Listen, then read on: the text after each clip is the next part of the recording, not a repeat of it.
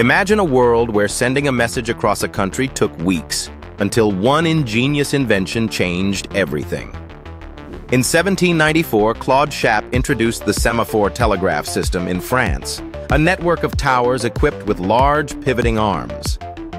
Operators used these arms to form coded positions, which could be seen through telescopes from the next tower, sometimes up to 20 kilometers away. Messages were relayed from tower to tower, allowing information to travel from Paris to Lille, about 230 kilometers, in just a few hours. This was a staggering leap forward, transforming military command, government decisions, and news reporting. The system grew to over 5,000 kilometers, becoming the world's first practical national telecommunications network.